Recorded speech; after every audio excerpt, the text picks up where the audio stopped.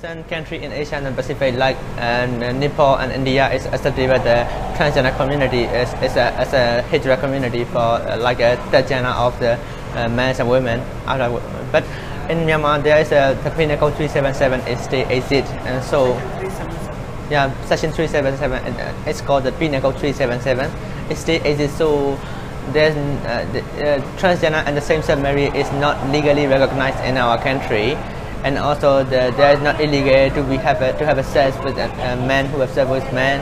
So they cannot disclose. They don't want to disclose their uh, life and their sexual orientation and gender identity. So but we are making some advocacy and community awareness raising campaign like uh, International Day against homophobia and transphobia. So uh, there will be um, there is it's much changing in community. So they can easily flexible to the uh, transgender like uh, they are not they are not only the HIV carrier.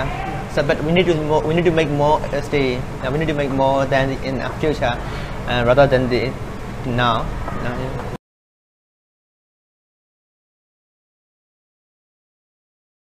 The prevalence of the, the, the prevalence of HIV epidemic is still higher in, in now. So we should we should have to make more prevention and the treatment program to, to have a more effective community to the PR approach. Myanmar is also the country who is adopted the uh, SDG in uh, September 2015. So, but actually, basically, we have a meeting at uh, to orientate and what uh, to review the SDG, what is uh, uh, expressed in the SDG, and I think it's around November 2050. There's a meeting to, to to address the SDG. But after that, there is no specific activity or no specific program to implement or to approach the SDG in Myanmar. So we have to make uh, uh, make more advocacy to roll out the SDG in uh, in practically.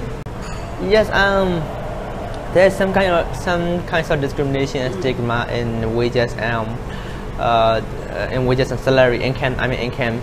Uh, but um, it's because uh, the, the people are mostly low legal literacy and also the low and non-educated, the poor, so they have to they have to make the job with the um, low amount of the income eh, wages. Yeah. Um, I believe that everything uh, what we want to set, eh, what we want to develop in the future is should be started with the education. You know, because education is the foundation of the all, all, the, all kinds of development programs. So we have to make uh, effective and we have to make uh, uh, make much more uh, clear set of the education program so it, it can be the, the next step of the it, it can be the entry point of the next step